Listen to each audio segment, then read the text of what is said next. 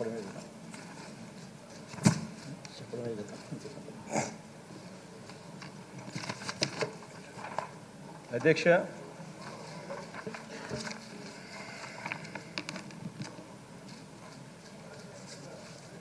కొత్త స్పీకర్ గారికి నా తరపున ప్రభుత్వం తరపున ఆంధ్రప్రదేశ్ ప్రజలందరి తరపున అభినందనలు అధ్యక్ష.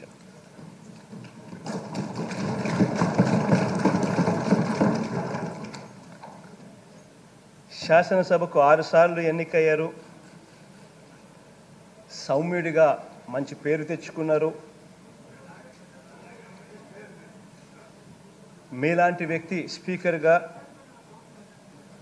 మంచి సాంప్రదాయాలను పాటిస్తూ ఆదర్శంగా నిలుస్తారని గట్టిగా మేమంతా కూడా నమ్ముతా ఉన్నాం.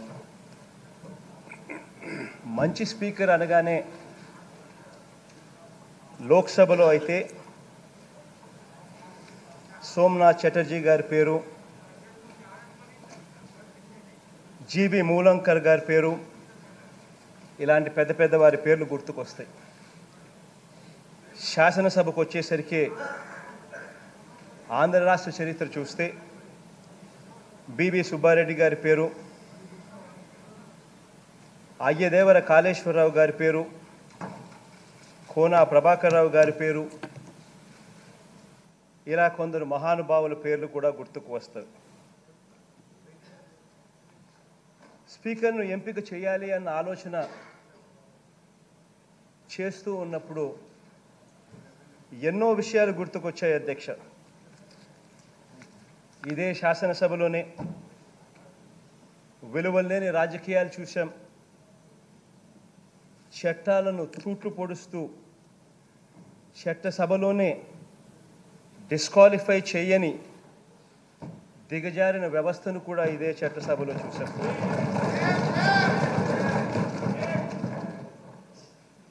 ప్రతిపక్ష నాయకుడిని మాట్లాడనివ్వని దిగజారని వ్యవస్థను కూడా ఇదే చట్టసభలో ఇలా ఇన్ని ఇన్ని ఇలా ఇన్ని చూశాక నేను ఎలా ఉండాలి అన్న మీమాంస కూడా స్పీకర్ గారిని ఎన్నిక చేసేటప్పుడు ఎలా ఉండాలి అన్న మీమాంస కూడా నాలో కూడా కలిగింది అధ్యక్ష. కానీ నేను కూడా అలానే చేస్తే నేను కూడా అటువంటి అన్యాయమైన సాంప్రదాయం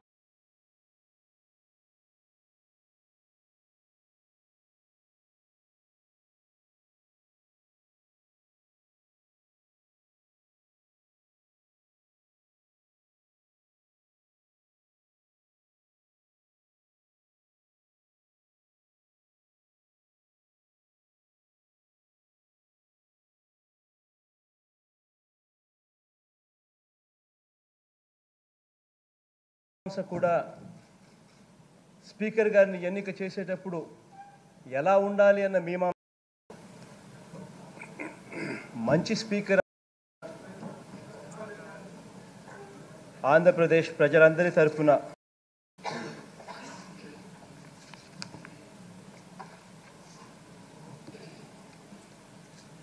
leader of the house, అంతే కదా చెప్పడమే కదా చెప్పడమే కదా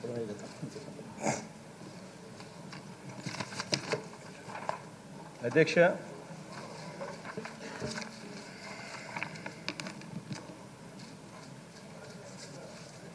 కొత్త స్పీకర్ గారికి నా తరపున ప్రభుత్వం తరపున ఆంధ్రప్రదేశ్ ప్రజలందరి తరపున అభినందనలు అధ్యక్ష.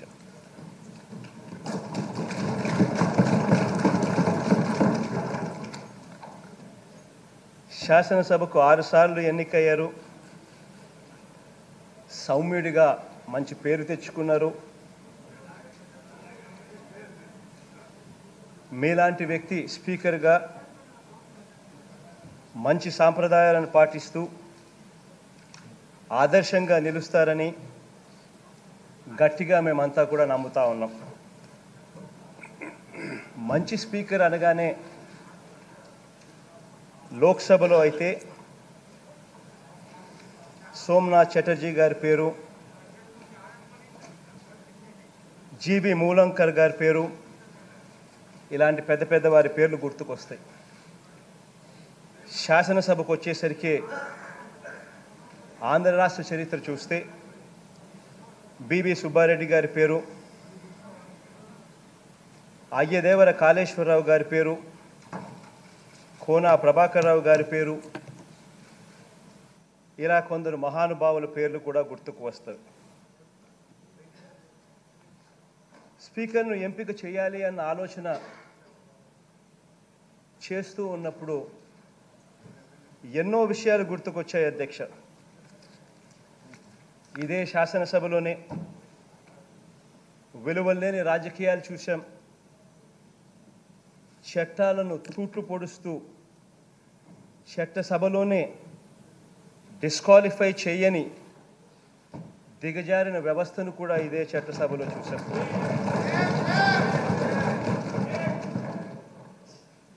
ప్రతిపక్ష నాయకుడిని మాట్లాడనివ్వని దిగజారని వ్యవస్థను కూడా ఇదే చట్టసభలో చూసాం ఇలా ఇన్ని ఇన్ని ఇలా ఇన్ని చూశాక నేను ఎలా ఉండాలి అన్న మీమాంస కూడా స్పీకర్ గారిని ఎన్నిక చేసేటప్పుడు ఎలా ఉండాలి అన్న మీమాంస కూడా నాలో కూడా కలిగింది అధ్యక్ష. కానీ నేను కూడా అలానే చేస్తే నేను కూడా అటువంటి అన్యాయమైన సాం ఏకంగా ఇదే శా ఇదే శాసనసభలోనే ఇరవై మూడు మందిని అరవై ఏడు మంది శాసనసభ్యులు వైఎస్ఆర్ కాంగ్రెస్ పార్టీపై గుర్తుపై గెలిస్తే ఇరవై మూడు మంది శాసనసభ్యుల్ని పార్టీ మార్చి కండువాలు కప్పి అందులో నలుగురిని మంత్రులుగా చేసి పార్టీ ఫిరాయింపుల నిషేధ చట్టాన్ని రాజ్యాంగంలోని పదవ షెడ్యూల్లో షెడ్యూల్ని తొంగలేకి తొక్కి ప్రజాస్వామ్య దేవాలయ ప్రతిష్టను ఎలా దెబ్బతినిపోయిందో ఇదే శాస ఇదే శాసనసభలో మనమంతా కూడా చూసిన పరిస్థితి. ప్రతిపక్ష ఎమ్మెల్యేలను ఇదే శాసనసభలోనే ట్రెజరీ బెంచుల్లో అంటే అటువైపు కూర్చొని ఉండాల్సిన వాళ్ళను ఇటువైపున అధికార పార్టీ బెంచుల్లోకి ట్రెజరీ బెంచుల్లోకి కూర్చోబెట్టుకొని ఫిరాయించిన నలుగురిని మంత్రులుగా చేసిన వ్యవహారాన్ని కూడా ఇదే సభలోనే చూశారు. చివరికి స్పీకర్ మీద అవిశ్వాసం పెట్టాలని పెట్టడానికి సంబంధించిన నిబంధనని రాజ్యాంగానికి వ్యతిరేకంగా అప్పటికప్పుడు మార్చేయడాన్ని కూడా ఇదే శాసనసభలోనే చూశాం.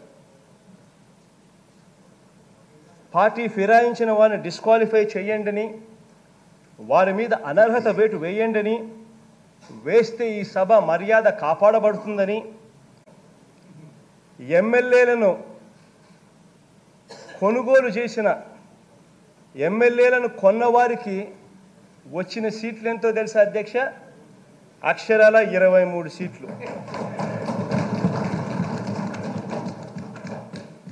ఎంపీలను కొన్నవారికి ముగ్గురు ఎంపీలను కొన్నవారికి అక్షరాలుగా అక్షరాల వాళ్ళకు వచ్చిన సీట్లు ఎంతో తెలుసు అధ్యక్ష ఎంపీ? అక్షరాల మూడు. అది కూడా అధ్యక్ష అది కూడా అధ్యక్ష. ఎప్పుడు వచ్చిందో తెలుసా అధ్యక్ష? ఇరవై మూడో తారీఖున అధ్యక్ష. ఇంత గొప్పగా జరిగింది అని అంటే దేవుడు ఎంత గొప్పగా స్క్రిప్ట్ రాస్తాడు అని చెప్పడానికి వేరే నిదర్శనం అవసరం లేదు అధ్యక్ష. Beauty of democracy beauty of God's grace ఈ రెండూ కూడా ఈ చట్టసభలో మళ్ళీ ఇవాళ చూస్తూ ఉన్నాం.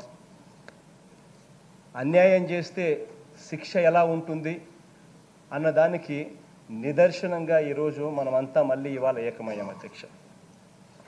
అధ్యక్ష అటు టెండర్ల వ్యవస్థలో కానీ గ్రామ స్థాయిలో కానీ ప్రభుత్వ యంత్రాంగంలో కానీ అవినీతిని తొలగించి వెలువలు విశ్వసనీయత రాజకీయాలకు ఏపీని కేర్ ఆఫ్ అడ్రస్గా మార్చేందుకు మా ప్రభుత్వం మొదటి రోజు నుంచి అన్ని ప్రయత్నాలను చేస్తూ వస్తూ ఉంది.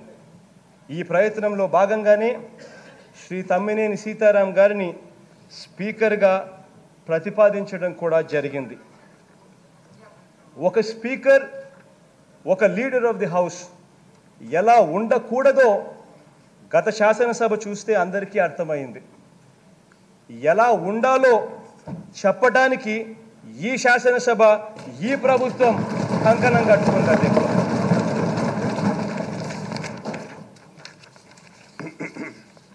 అధ్యక్ష బీసీలంటే బ్యాక్వర్డ్ క్లాసులు కాదు బ్యాక్ బోన్ క్లాసులుగా మారుస్తాము అని మా పార్టీ ఏలూరులో బీసీ డిక్లరేషన్లో చెప్పింది అధ్యక్ష.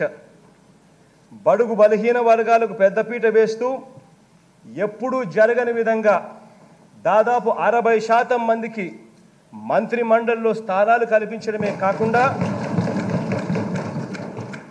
ఐదుగురిని డిప్యూటీ సీఎంలుగా చేశాం. అందులో నలుగురిని బడుగు బలహీన వర్గాలకు సంబంధించిన వారిని డిప్యూటీ సీఎంలుగా చేశాం. అందులో భాగంగా ఇంకా ఒక అడుగు ముందుకు వేస్తూ ఇప్పుడు తమ్మినేని గారిని ఎంపిక ద్వారా అధికారంలోనూ పరిపాలనలోనూ శాసనసభలోనూ మా కమిట్మెంట్ను మా కట్టుబాటును నిరూపించుకుంటా ఉన్నాం అధ్యక్ష ఈరోజు. మీ ఆధ్వర్యంలో నడిచే ఈ శాసనసభ పార్లమెంటరీ సాంప్రదాయాల విషయంలో దేశానికే ఆదర్శం కావాలని కోరుకుంటూ మరోసారి మీకు అభినందనలు తెలియజేస్తా ఉన్నాను అధ్యక్ష. ఇక్కడ ఒక్క విషయం మాత్రమే అందరికీ చెప్పదలుచుకున్నాను అధ్యక్ష. అధ్యక్ష ఎవరైనా కూడా నాకు ఇక్కడికి వచ్చినప్పుడు కూడా అడిగారు అధ్యక్ష. చంద్రబాబు నాయుడు గారికి ఇరవై మూడు మంది శాసనసభ్యులు ఉన్నారు. ఒక ఐదుగురిని లాగేస్తే ఆయనకు పద్దెనిమిది మంది పదిహేడు మంది వస్తారు. అప్పుడు ఆయన ప్రతిపక్ష నాయకుడు స్టేటస్ కూడా ఉండదు లాగేద్దామని. నేను అన్నా అధ్యక్ష అలా చేస్తే నాకు ఆయనకు తేడా లేకుండా పోతుంది అన్నాను అధ్యక్ష.